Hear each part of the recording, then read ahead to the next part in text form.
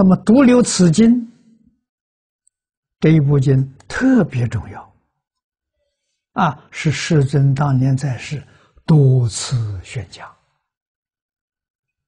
啊，留下了一些大藏经这经典，佛一生就讲一次，没有重复的，唯独无量寿经，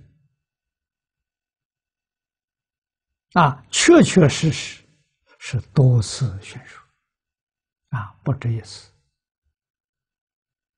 无量寿经》流传到中国很早，跟中国特别有缘分。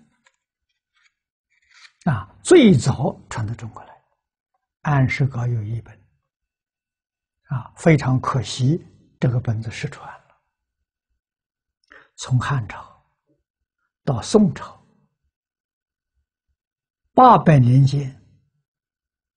十二次的翻译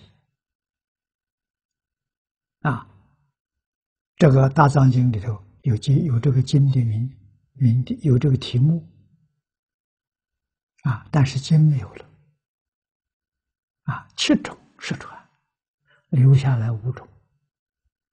那么从留下来五种当中，我们就看出不是一次讲的这一部经里头。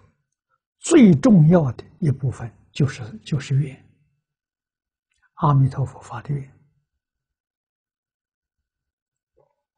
啊，有两种本子四十八愿，另外两个版本的时候二十四愿。宋朝翻译的这个本子是三十六愿。不管怎么样翻译，这个决定不能会犯错的。啊，为什么有这么大的差别？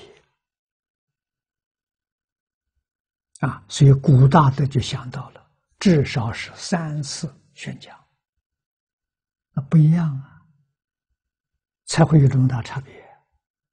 从印度传来的这个梵文经典，不是一个版本